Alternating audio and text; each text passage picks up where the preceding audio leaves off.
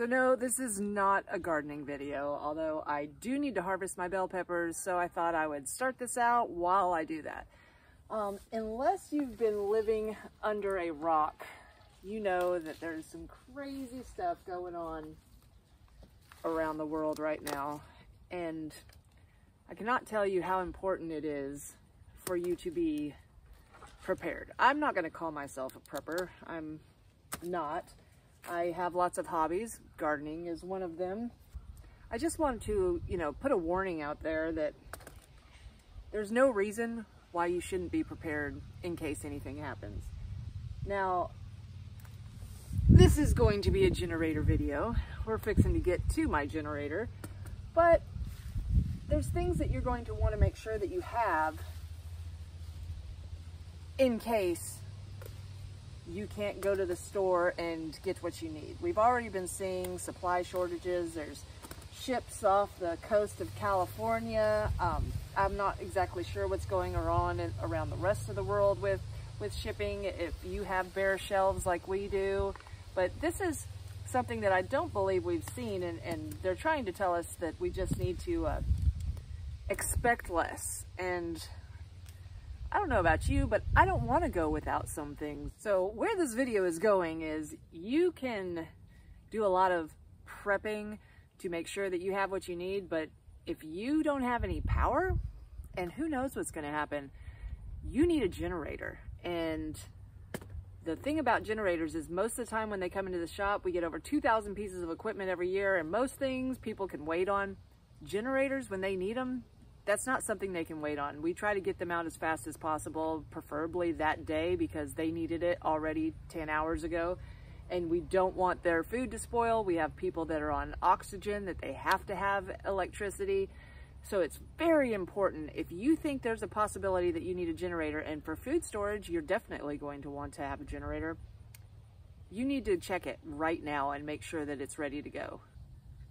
So I have a stand-up freezer, a chest freezer, and two refrigerators at my house. So I need a big generator to power all that in case the power goes off. And it does a lot of the times here in Arkansas. Uh, a storm can knock the power out. So it doesn't have to be some big event that's going to happen. So I always make sure that my generator is running efficiently because I don't want to lose any of my food. Now, my generator is a Black Max. It's a uh, 7,000 watt. It's powered by a Honda GX390. Um, this is an excellent engine. And today I want to show you the things that you might just want to think about, you know, prepping so you won't have any issues whenever your power goes out.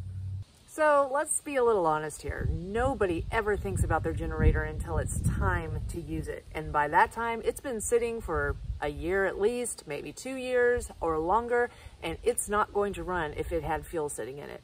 So the quickest, most easiest way to get you going because if your power's out, first of all, you're not going to be wanting to pop onto YouTube and sit down and fix on your generator for, you know, a couple hours.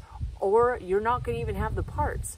So right now, you need to go to your generator and find the model number off of it and see how much is a carburetor. Most of the time, you can get them for like 20, 30 bucks aftermarket. I mean, if you want to get OEM just to make sure, that would be good too. But it would give you that security to know that in any circumstance, you're ready to go and power up what you need. On most all of the Hondas, you can actually find the serial number right here on the side of the engine. You'll need that, which it determines which carburetor you have because even though it's a GX390, they make different carburetors depending on what kind of linkages because of whatever kind of unit that might be on. Another thing to think about is a pull rope. I know it's something simple that you're not gonna think about until it breaks, but if it does, you have to have the right size and length to make it start. So you want to go get five feet of probably number five rope. Just have it around the house. That way you have that security to know that if your pull rope breaks, you can fix it.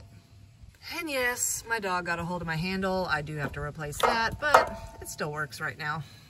Another thing that you're going to want to check and make sure that you have around the house is some 30 weight oil to put into your generator if it needs it because they do use a little bit of oil and if it does not have enough oil in it, most generators have an oil sensor switch that will actually um, kill the engine if it does not have the right amount of oil in the machine. So a lot of times people have no clue what's wrong with their generator and that's all it is. It's the oil sensor switch if it has the wrong amount. Now we start ours with our uh, rewind assembly, but if you can't, if you got shoulder issues, back issues, something like that, make sure that your battery is put on a trickle charger so whenever you need it, it's ready to roll.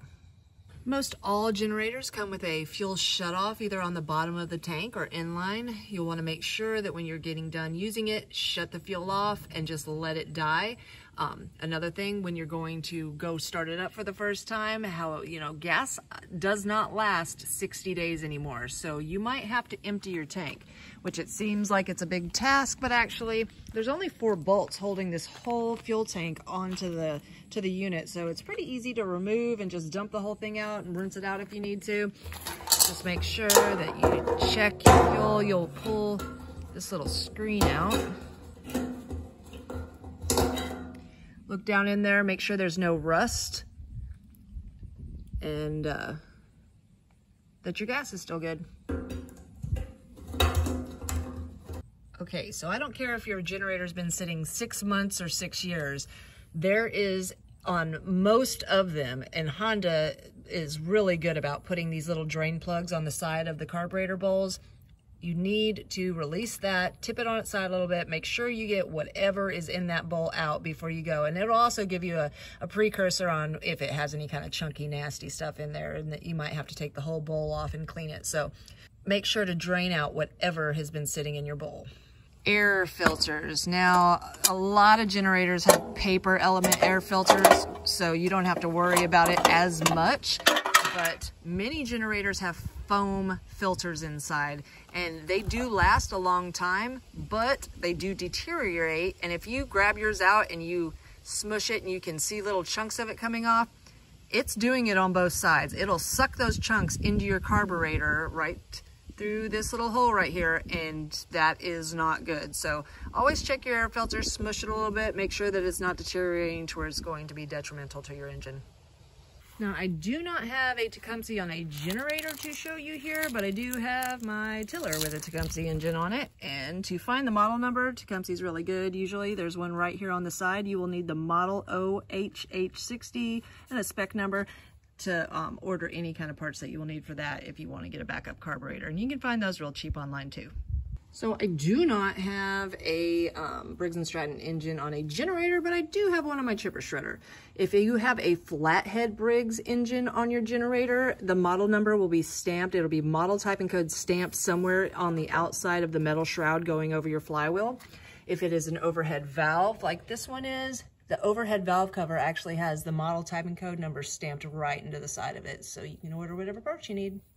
And last but not least, there are a lot of what I call Chonda engines on generators that like Harbor Freight sells and, and some of the, you know, big box stores. They do not have a Honda. It's called a Chonda because it's sort of like a Chinese knockoff of the engine, which they're just as good as any of the other engines while they, you know, are running. But if you let them sit, they're going to do the same thing.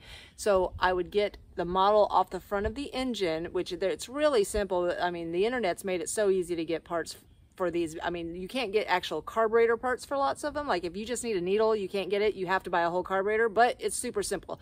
Just get the model off the front of it, type in yada, yada, yada carburetor. It'll pop one up. It's like 20 bucks. Just get one. And then you know that you are ready to go if anything ever happens. So I know we didn't fix anything today, but I really just wanted to make this video as like a prepping, warning, and just in case kind of thing because I don't want you to spend lots of money at the repair shop if it's not needed because you know what they're going to do? They're going to put that same exact carburetor on there that you could already have at your home, ready to go. Simply put it on and have power and not have to worry about it. So thanks for tuning back into Chickanic. Hopefully this video saved you time, money, and frustration in the future. Thanks and have a great day.